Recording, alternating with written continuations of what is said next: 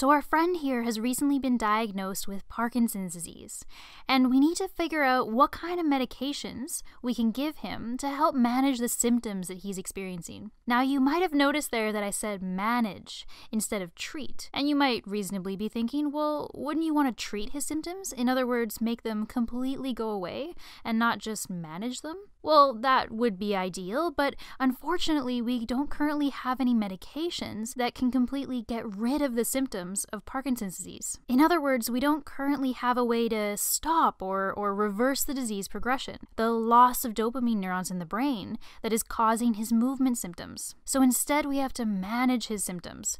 We'll have to give him some medications that will minimize how much these symptoms crop up and interfere with his daily living, right? So the management of Parkinson's disease may look quite different for two different people, and that's because the disease affects everyone a little bit differently. So we want to make sure that we figure out which movement and non movement symptoms are really affecting our patient here, really interfering with his day to day tasks, so that we can address them properly and, and not give him any medications that he doesn't need. Because we don't necessarily want to put everyone on every medication right away if the symptoms aren't really causing too many problems, right? Because there can actually be short and long term side effects that we might want to minimize or delay. So let's say that our patient here is really struggling with his bradykinesia, his tremor, and his rigidity.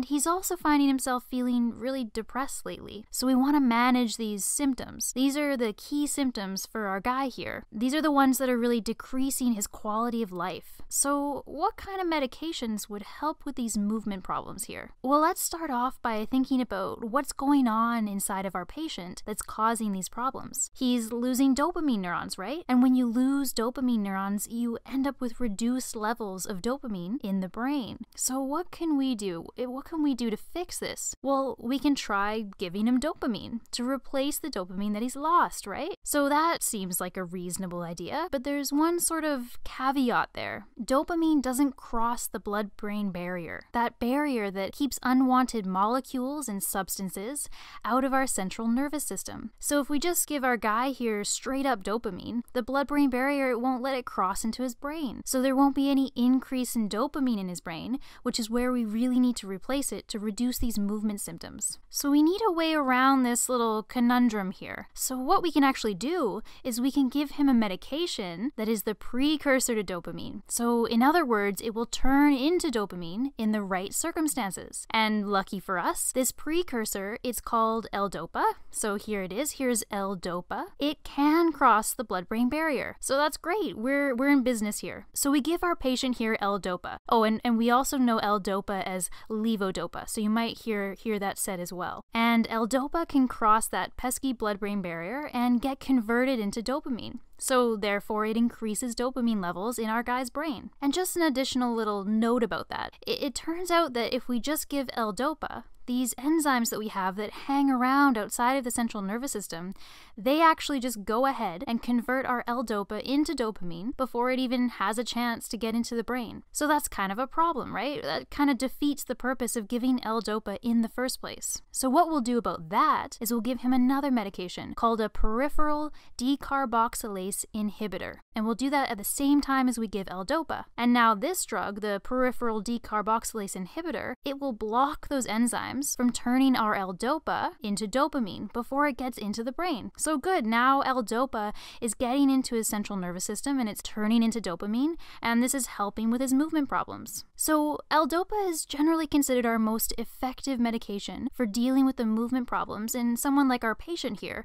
with idiopathic Parkinson's disease. But there are a few problems that can arise about 5 to 10 years after someone starts taking L-DOPA. One thing that can happen is something called wearing off off. And wearing off is when a dose of L-DOPA, it, it, stops lasting as long as it used to. So the patient's symptoms become really bothersome again before it's even time to take the next dose of L-DOPA. So what can we do about this, this wearing off? Well, where does that dopamine go? It's degraded, right? It's being broken down by special enzymes that we have in our brain. So we can try to slow down that degradation of dopamine. That's what we can do. That way it can hang around a bit longer and keep stimulating our dopamine receptors. And that can help get our patient here through to their next dose of L-Dopa without their symptoms coming back to bother them. So we can do this with a few different types of medications. We can use something called a monoamine oxidase B inhibitor, also known as an MAOB inhibitor. So, MAOB is an enzyme that hangs around in our brain and it breaks down dopamine. So we don't want that. So we can use an MAOB inhibitor to stop this breakdown. And that allows us to keep higher levels of dopamine in the brain. Good. So that's so that's one thing that we can do to prevent this wearing off. And another type of medication we can use is called a catechol O methyltransferase inhibitor. Man, that's a mouthful. But if we break that down, the name actually makes sense. So catechol here stands for catecholamine, and dopamine is a type of molecule in the catecholamine group. So is epinephrine and, and norepinephrine. You might have heard of those as well. So these are all catecholamines. And methyltransferase here means that this is an enzyme. Remember that the ase part means that it's an enzyme. This enzyme, what it does is it transfers a methyl group onto the dopamine, and this inactivates the dopamine. So already we know that we're going to have to do something about this because we want our dopamine to stick around for a bit longer. So when we give our patient here a COMT inhibitor, I'll just go ahead and shorten this to COMT, we stop that breakdown, right? So we have more dopamine floating around to bind to the receptors, the dopamine receptors, and reduce movement symptoms. So another problem that we can see with prolonged use of L-Dopa is too much involuntary movement. Now that's a little unexpected, right?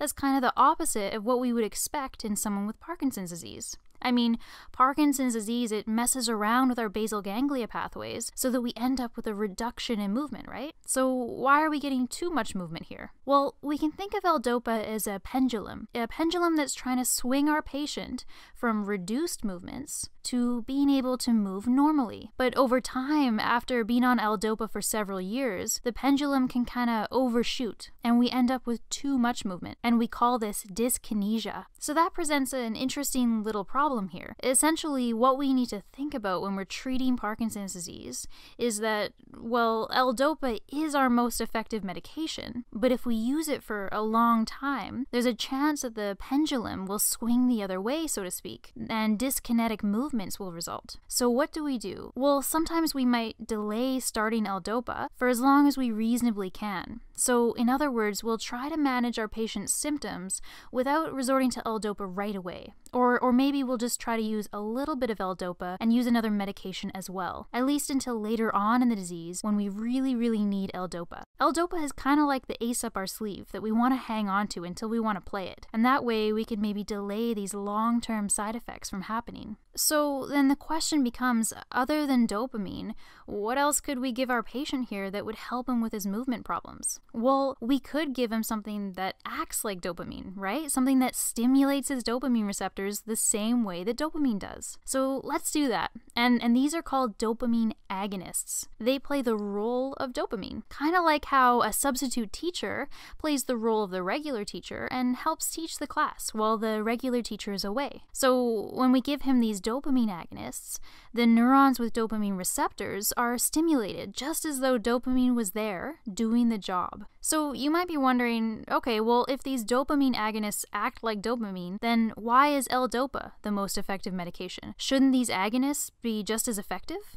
Well, while these agonists do act like dopamine, they're not dopamine, right? They're not a perfect fit for the receptor. Just like how the substitute teacher just isn't as good a fit for the class as the regular teacher is. So these agonists, they just aren't as effective as the real thing. But they can be really helpful maybe early on when symptoms aren't too bad, when the disease hasn't progressed too far, or maybe when we're using them together with L-Dopa so that maybe L-Dopa can be used a little bit less. So those are the main types of medications that we would normally use to manage the movement symptoms of Parkinson's disease. But we also need to manage the other symptoms, right? Like the depression that our patient is experiencing. So one thing that we we might want to do before we try to treat his depression or any other symptom that someone with Parkinson's disease might experience is that we would want to figure out if the symptom is due to the disease itself or if it's a side effect of one of his other medications. If it is the disease itself and the symptom needs medication, then we would just try to find the most suitable medication that we can for managing it. And if instead it's a side effect of a medication that he's already on, then we would try, if we could, to maybe adjust the dose of that medication if possible so that he experiences minimal side effects.